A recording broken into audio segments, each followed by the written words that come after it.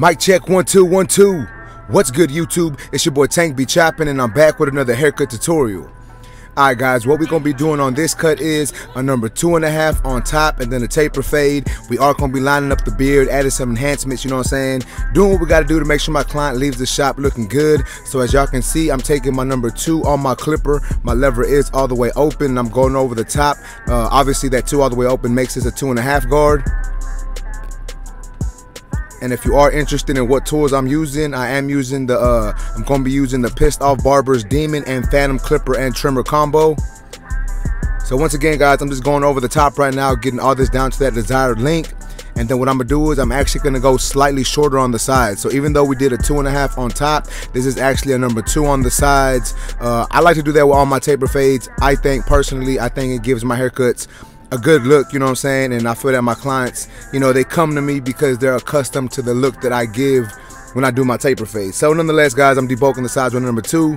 The closer I get to that parietal ridge area, you know what I'm saying? I mean, really, I'm not really using the flick eye motion. I was gonna say I was, but honestly, I'm not because a two fades into a two and a half pretty easily, you know what I'm saying? So I really shouldn't have to do any like fading, like flicking out and floating and all that.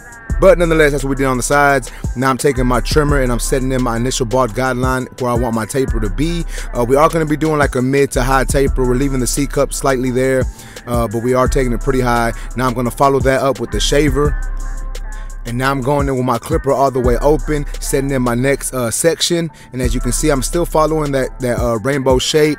And then I'm gonna close my lever halfway, work my way halfway into this section and I'm gonna close my lever uh, one notch, uh, attack that line a little bit more, and then close it all the way and hit that line. And then I'm just gonna do some slight lever play to get that part of the blend to come together.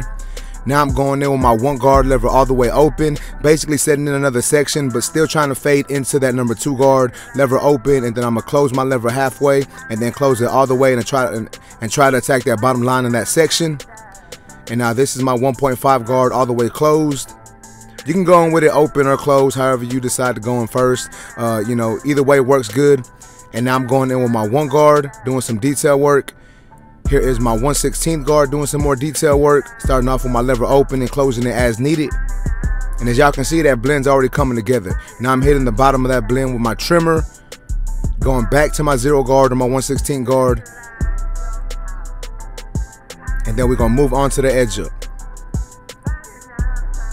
So y'all know your boy likes to start off in the middle of my lineup. So I set in my first initial guideline in the middle and then I just work my way over to the C cup. But I wanted to talk to y'all about my uh my method when I'm fading and tapering. As y'all saw me do, I did hit that uh, hit that taper and I did a little bit of detail work. When you're detailing guys, you want to make sure you're using whatever guards you feel are needed. Sometimes you don't need to use every guard, but sometimes you might. It just it just differs and it varies from hair to hair. So do what you got to do to get that blend to look uh, to look good. But nonetheless, guys, as you can see now, I'm just fading in my client's beard and then reverting back to a little bit of detail work in the taper. And then going back to that beard and fading that in. Now I'm gonna go ahead and line up the back of my client's beard first. I'm gonna make sure we have a nice sharp line and then we're gonna line up the top of my client's beard, uh, basically following the shape that was already there. So there's really like no guessing when you do that. Uh, you, you just gotta really follow what's there. Be careful, try not to push that beard too far in. Then we're gonna line up that mustache. And uh, I do want to give a shout out to my boy, the Pissed Off Barber, man. I appreciate y'all for sending me, well, I appreciate you for sending me these tools. I know I did a video on them, and I think this is my first haircut tutorial with them. May or may not be, man. Honestly, I don't even remember. But nonetheless, uh, I appreciate you. Uh, and also, if y'all want to cop these tools, y'all can go to his website, thepissedoffbarber.com, and you can use my discount code TANK, and it'll save you money on shipping. But uh, now that my client's beard is lined up, I decided to go back into the taper and uh, you know do some more detail work. I'm going in with my clipper with my number one guard lever open and then close, and I'm going back in with my 1.5 guard. And this just goes back to saying what I said earlier, guys. Like when you detail, you can use whatever guard you need to. I know I posted a video on TikTok and everyone was like, bro, you do too many steps, you jump around too much. But for me, that's what works. And even though it may seem like it's too many steps, I'm still getting my client in and out in a good amount of time. And once again, it just it makes my cuts look like my cuts. You know what I'm saying? Like I do what I do to make my cut look like it's my cut, and that's and I think that's why clients come to me because they want a tank cut. You know what I'm saying? So nonetheless, man, you don't gotta follow these rules. You ain't gotta follow these steps, but it's a good uh it's a good way to start if you're trying to learn. You know what I'm saying? Once again, you, just got to do what you got to do to make sure that your clients are happy. But uh, nonetheless, guys, y'all can see I'm moving on to the back taper. Uh, I'm using a different clipper here. I am using my custom FX from Babyliss uh, with the upgraded 245 motor and battery. Uh, here is my one guard lever open. I'm trying to blend into this bulk, and then I'm gonna close my one guard and try to blend out that line. Now I'm going in with my zero guard or my 116th guard open and then close it halfway and then I'm gonna close it all the way to try to get that bottom of that blend to come together.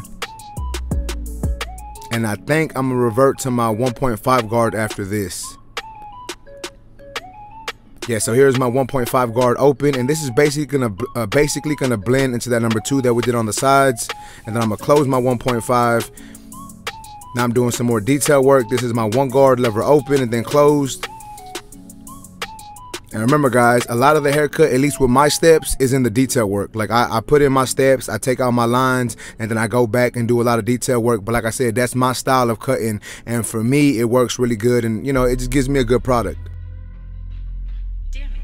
All right, so now I'm gonna go ahead and add some enhancements.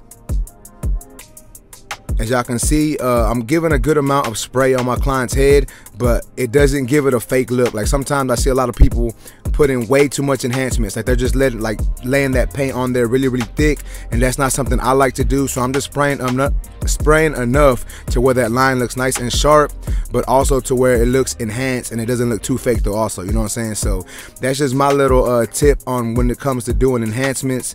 Try not to spray too much. You know, a little bit goes a long way. But I mean, I understand if you do have to spray a little more than others, a little more than normal on certain parts of the head. You know what I'm saying? Like, I, I get it. But we're gonna do the same thing to this side that we did to the opposite side. And once again, guys, as y'all can see, that haircut is looking good. You know what I'm saying? I, I think I give my clients a good product. You know what I'm saying? I may be just hyping myself up. But now I'm going in with my Tomb 45 pencil.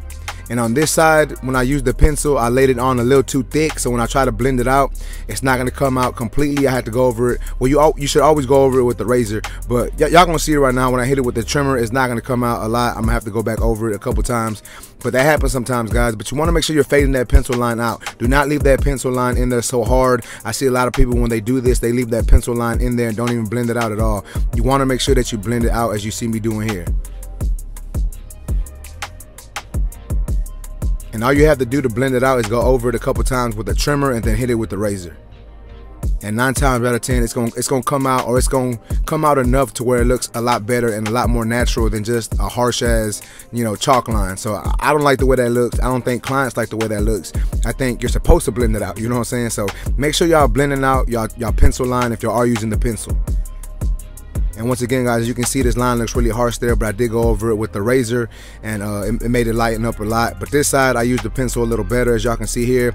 I didn't lay it on too thick this time around. And that happens sometimes, guys. Like, we're not all perfect, you know what I'm saying? I mess up a lot when I'm, well, not a lot, but I do mess up sometimes. As long as you can fix it, that's all that matters. So now I'm going over this side of my client's uh, hairline with the trimmer, basically, once again, just fading out that pencil line. And as you can see on this side, that pencil line seems to fade out a little easier. And it once again, it happens like that sometimes, guys. You just got to do what you got to do to make sure that these cuts, you know, come out fire. So now I'm gonna hit him with the razor to really get this pencil line to look nice and finished, and just give it a, a you know a better look. Damn it, Tito. So y'all see how this is looking a lot more faded, and it just looks a lot better than just a harsh line. That's what I'm saying. You want to make sure you fade that out and blend that out properly.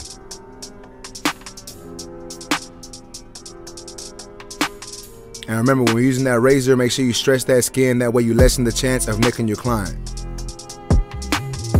And then we're gonna do the same exact thing to this side. Stretch that skin, hit everything with the razor. That way, this not just that, not just for the reason that the well, I can't even speak properly. Not the only reason to do this is not because you want to fade that pencil line, but we want to make sure we get all that excess hair also. That's what I was trying to say. But all right, man, y'all check it out. This is how my boy came into the shop looking. And this is the finished product. Y'all let me know what y'all think about this haircut in the comment section. If y'all like this video, please make sure to smash that like button. Also, if new to my channel, make sure to subscribe one time for your boy. Remember, guys, if you want if you want to purchase any of these tools you've seen in my video, I have the link in my description, so y'all check that out. Make sure y'all use my discount codes. If you want a haircut from your boy, you can go to my website, tankbechoppin.com. You can book there, and uh, that's basically uh, that's basically it. YouTube. I really appreciate y'all for watching. Until next time, let's go. You.